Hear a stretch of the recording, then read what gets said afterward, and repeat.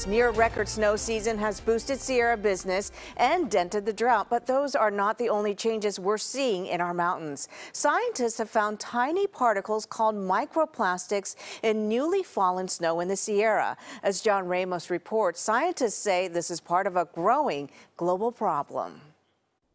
Typically, the concern over plastic pollution has centered on our waterways, but now there's growing evidence that it may actually exist in the air around us. The snow that's fallen in the Sierra holds hope for an end to the drought, but it may also hold a warning.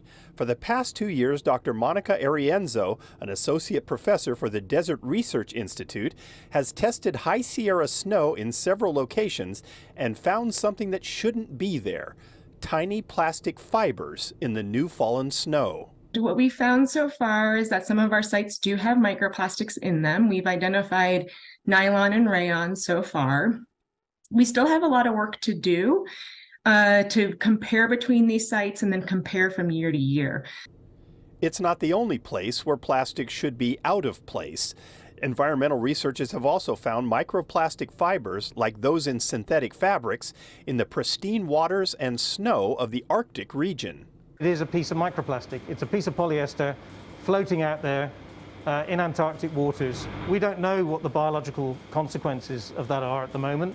What we do know is that these microplastics are there, that exposure is occurring, and really it shouldn't be occurring. This is part of a man-made problem that has now gone global. The tiny fibers showing up in snow and rain is part of a growing body of evidence that the consequences of man's obsession with plastic are now being carried to even the most remote corners of the world.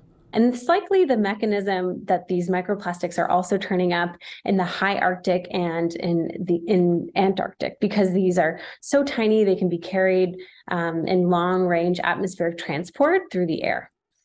Dr. Lisa Erdle with the Five Gyres Institute has helped study plastic pollution in San Francisco Bay and says it appears that the problem is only worsening. We did a study just published last week where we looked at 40 years of microplastics in the world's oceans. And from about 2005, we see a rapid rise in the amount of plastic that's in the oceans. And this is a similar trend in, in habitats and wildlife around the world. The evidence is clear, but there are still questions about how much, if at all, such small fibers may affect man or even living creatures.